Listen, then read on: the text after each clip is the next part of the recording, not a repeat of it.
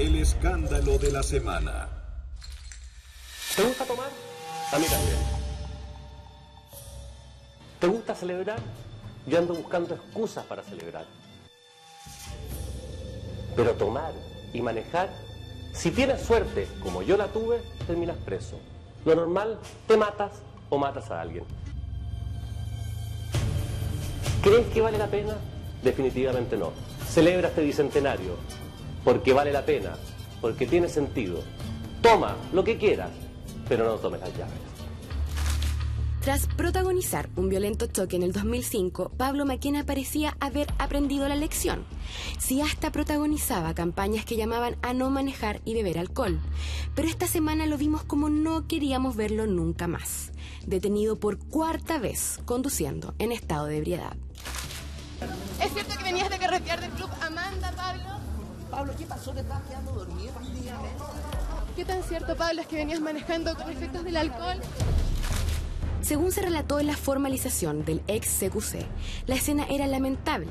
A eso de las una de la mañana, en la avenida Vitacura, Carabineros se encontró con un auto que avanzaba zigzagueando por la calle. En su interior, su conductor se encontraba a punto de quedarse dormido. Frente al volante, adivine quién era.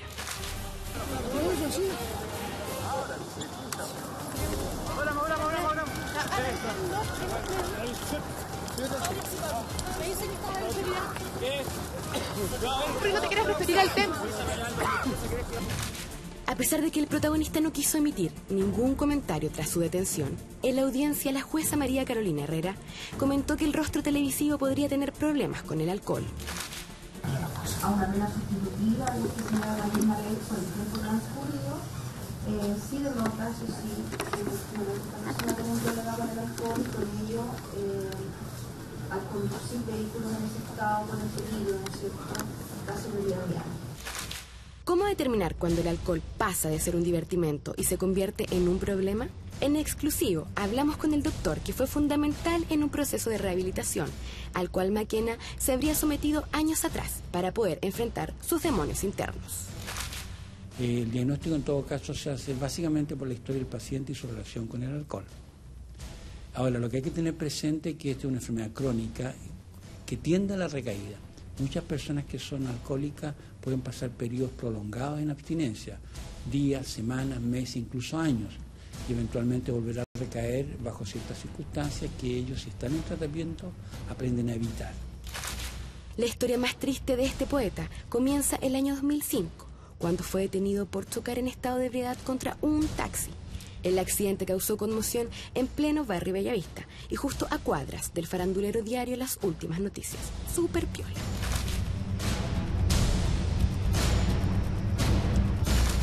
Por el incidente, el conductor fue sentenciado a 40 noches de reclusión nocturna. Además, perdió de por vida su licencia de conducir, pero años después la recuperó tras apelar. Apelable a los seis años, hace dos tengo licencia. Manejo asustado como un conejo. Luego de tan traumáticas experiencias, ¿por qué el rostro televisivo es sorprendido manejando en estado de ebriedad otra vez? Yo no puedo dar la información de ningún paciente que yo he atendido. Esta es una enfermedad que no da conciencia de enfermedad y solamente a través de la experiencia personal o de la confrontación que sus amigos le hacen o su familia o a veces el- un juez que le va a decir, mire, usted tiene problemas. Eh, eso no quiere decir automáticamente que la persona acepte que tiene un problema. Y si no hay conciencia de problema, tampoco hay búsqueda de ayuda. Sin embargo, Maquena no es el único personaje televisivo que ha caído en una relación maligna con el alcohol. ¿Quiere conocer algunos casos de famosos que han enfrentado sus líos con el trago y otras sustancias? Y la siguiente es una historia simplemente increíble sobre un hombre que lo tenía todo y lo perdió por culpa del alcohol. Él era parte de uno de los grupos de rock argentinos más importantes en su historia.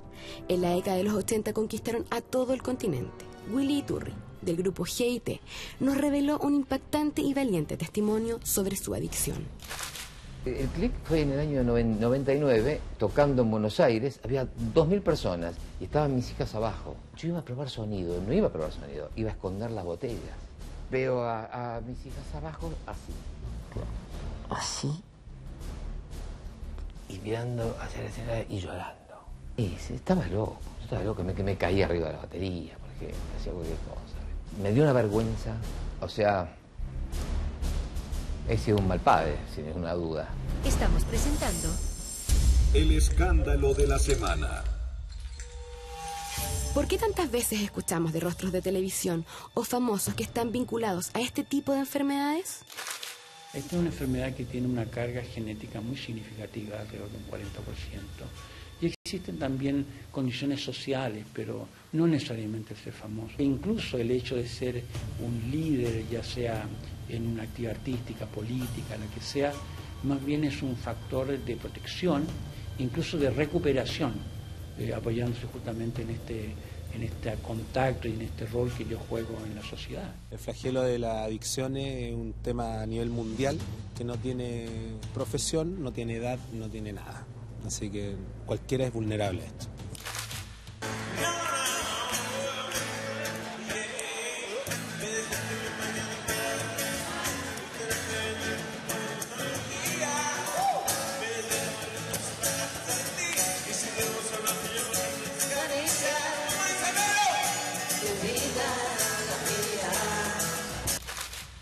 Igual que el vocalista del grupo romántico Rake, nuestra farándula chilena más de alguna vez ha estado vinculada a los excesos y problemas con el alcohol. Bien lo sabe esta mujer.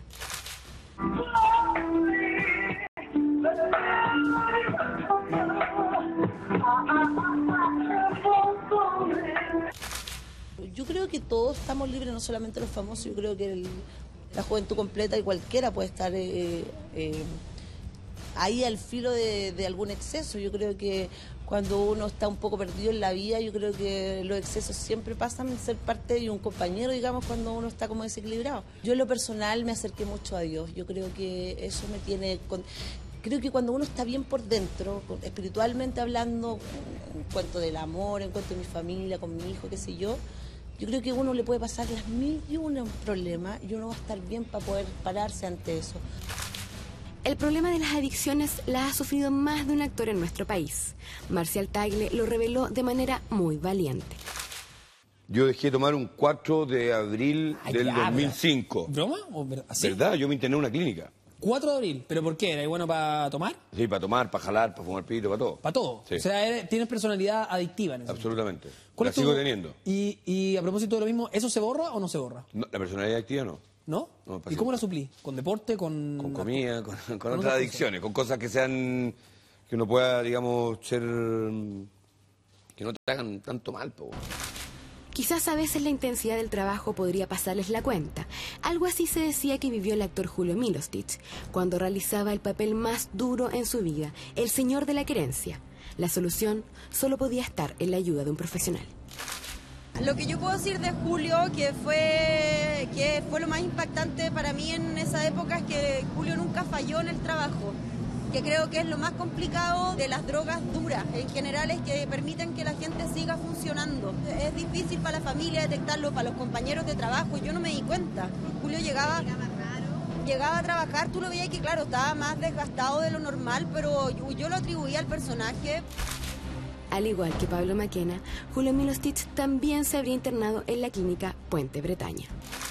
La adicción es una enfermedad del cerebro, no de la voluntad. El cerebro se adapta a un consumo y claro, al enfermarse mi cerebro se afecta, afecta mis conductas. En principio hay que pensar, es una enfermedad crónica. O sea, yo puedo parar de beber durante mucho tiempo y, y si vuelvo a beber de nuevo, a probar si controlo, voy a volver a perder el control y esto va, va a ir aumentando a lo largo del tiempo hasta el, el momento en que ya mi cerebro está saturado y yo ya empiezo a ver muy poquitito. De todas las experiencias en la vida se puede sacar algo, incluso tras haber tocado fondo. Willy Iturri buscó todas las formas posibles para lograr salir adelante. Dije, voy a ir a Alcohólicos Anónimos. Y al día siguiente llamé, ahí me trataron con un amor, un cariño increíble y una contención increíble. Simplemente les dije, por favor ayúdenme, estoy desesperado. Por su parte, otro destacado conductor de televisión, director y actor que también recayó ante la necesidad de consumir alcohol fue Vasco Mulián. ya empezar a tomar tus con, con- con tus hijas que son chiquititas. Yo creo que al final no, no, estáis dando- no, no le estáis dando un buen ejemplo. Yo creo que eso fue el motor. ¿ah? El motor sobre todo fueron mis hijas de, de que veían a un papá que siempre tenía que estar tomándose una copita de vino, que siempre tenía que estar tomando un, un podquita. Y por, yo creo que por, por lo general por ellas uno, uno reacciona más que nada. ¿ah? Y por uno mismo, que te hace mal a la salud. O sea, después, claro, entretenido, pero después la caña, el otro día andáis mal. En cambio, hoy día ahora me levanto temprano y todos los días contento, andáis con entusiasmado. En este caso, el animador optó por otro método de ayuda contra su adicción. Son muy pocos los que reconocen, pero yo eh, me puse un pellet y con eso eh, fue la mejor solución. O sea, yo en un momento llegué a, a sentir que no podía, ¿cachai? que no, como que tenía la sensación de que no podía, no podía salir, salir, salir, que fui a un doctor. Le dije, ¿sabes qué? No puedo salir de esta cuestión. Pónganme un pellet. El depender de- del copete para sonreír es un poquito patético, un poco fuerte. Y cuando me di cuenta que era capaz de hacerlo solo y yo proponerme a ser feliz, no con un estímulo como el alcohol, te hace ser, sentirte mucho más grosso, una persona más potente. Sin duda la fama y el alcohol van de la mano mucho más de lo que uno quisiera. Incluso más de un famoso ha aparecido en las noticias debido a esta mala mezcla.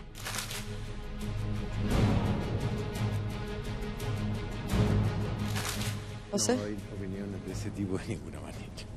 Pero tú una vez también tuviste un problema y lo, y lo reconociste después, Rafael. Pero es cortito, si en buena onda, Rafa. Estamos presentando El escándalo de la semana. LAN emitió comunicado de prensa tras incidente de artistas obligados a bajar de vuelo Punta Arenas Santiago. Yo me equivoqué porque yo no debía haber defendido como defendí una situación. Pero pedí las disculpas del caso, me pareció que yo había cometido un exceso en hacer lo que hice y, y quedó ahí. Pero se dijeron muchas cosas. Tú eres también una persona legal al deporte y se dijeron muchas cosas, que tú también tenías eh, problemas con el alcohol. ¿Qué puedes decir a ¿Ah, sí esa... eso? No lo había escuchado. Eh, ¿Qué puedes decir a través de eso? Que no, ¿Que no es cierto? no que no es así. Para finalizar, ¿qué nos podrías contar entonces del episodio en el avión? La- eso fue para finalizar la anterior. Nada, lo dije hace 4 o 5 años, están todos los diarios, reviso en internet. El problema es que esto es una tendencia mundial. Existe un sinfín de famosos internacionales que a pesar de tenerlo todo, han sucumbido ante algún vicio.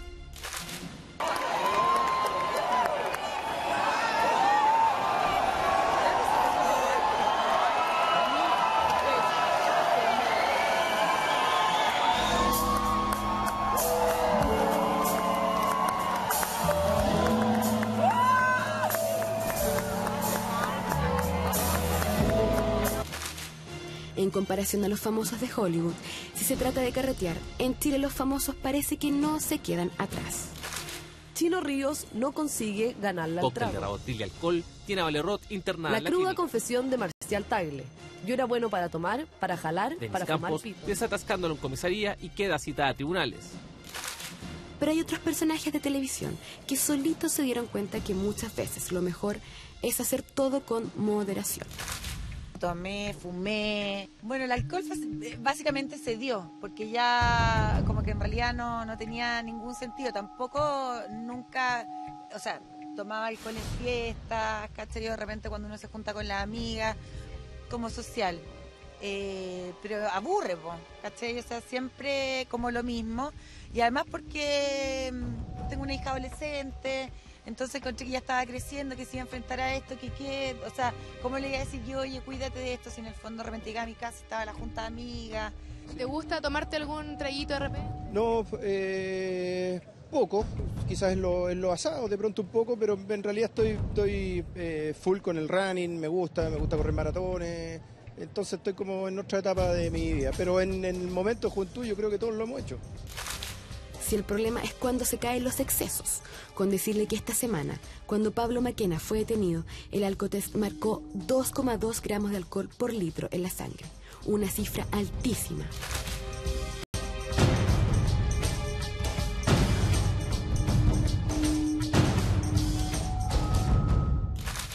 Además de ser formalizado por el delito de conducir en estado de ebriedad, la jueza determinó dos medidas cautelares para Pablo Maquena. Arresto domiciliario nocturno y retención de la licencia de conducir durante los 45 días que dure la investigación. Me pregunto, ¿podría Pablo Maquena tener un problema de caer en estados depresivos o autodestructivos? En el libro que escribió sobre su experiencia en la cárcel, puso un breve poema donde dice mucho sobre su personalidad fracturada. Vida es un puzzle al que le falta la caja con la foto y un sinfín de piezas. O sea, no sé hacia dónde voy y tengo la terrible certeza de que no llegaré entero. Mi cárcel soy yo. Hay ciertas cosas que a cualquier persona lo descompensan y en particular a una persona que es adicta, que es el cansancio, el estrés, emociones intensas eh, que uno no puede manejar, la soledad y obviamente la exposición a riesgo. Cabe destacar que fue en el año 2013 que el conductor televisivo también fue vinculado a otra polémica en la que se encontraba bajo los efectos del alcohol. Una madre viñamarina habría acusado a Maquena de presunto abuso sexual en contra de su pequeña hija, del cual Pablo resultó completamente inocente. Sin embargo, en las imágenes se pudo apreciar que el conductor también se encontraba en estado de ebriedad. ¿Qué deparará en el futuro para Pablo Maquena? Los medios siguen a Pablo hasta el final. Ahí vemos cómo se va Pablo Maquena. No quiso referirse.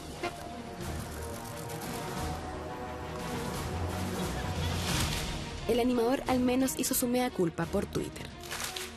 Efectivamente, atiné y paré, pero nadie me puso una pistola al pecho para subirme a ese auto. Mal.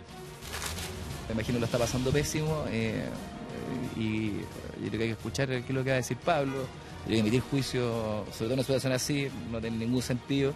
Y, ojalá que pueda salir rápido de esto y, salir tranquilo, porque obviamente una situación súper compleja y yo lo entiendo. Después de todo lo más importante, como dicen los grandes que lograron superar esta enfermedad, es asumir y reconocer que se necesita de ayuda para salir adelante. Bueno, primero reconocerlo y decirte a ti mismo, lo puedo o no lo puedo controlar.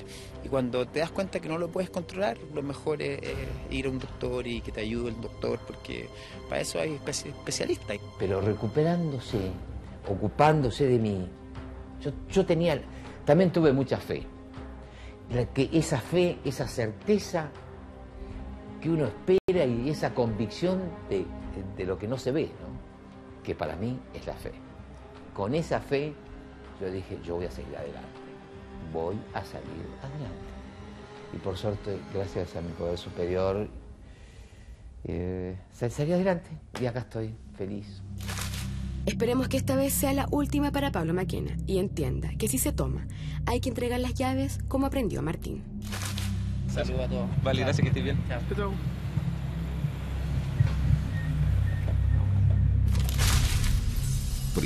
plano.